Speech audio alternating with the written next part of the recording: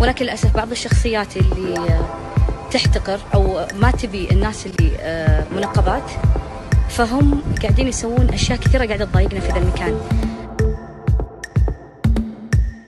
آه في شيء أبغى بس أقوله أنا مسؤوله عن كلامي.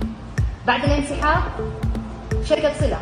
بكل المواقف اللي صارت للمنقبات أنا طلب مني من عبد الله زارع أن المنقبات لا لا وجود لهم في أرض الميدان.